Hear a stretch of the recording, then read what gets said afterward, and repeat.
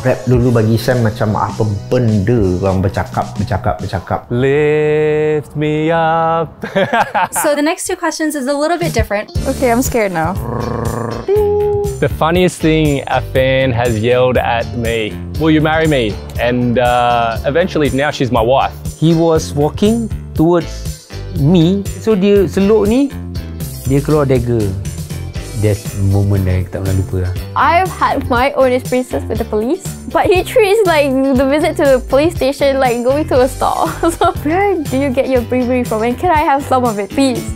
A guilty pleasure that I'm not, I mean, I'm not going to tell you the guilty pleasures that I'm embarrassed of. What's your guilty pleasure? um, Uh, not so easy, is it? We put our hands out to each other like this, and then we would take turns slapping the out of each other's palms. Yeah.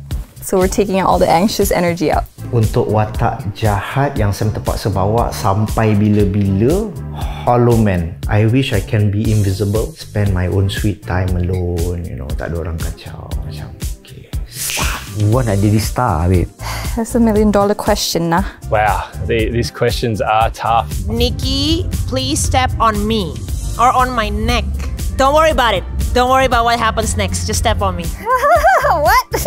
Hi, namaste. saya Ismail Izzani. This is Brendan Gan. I am Dr. Sandra Lee, aka Dr. Pimple Popper. Hello, I'm Shaheizy Sam and this is Lights On.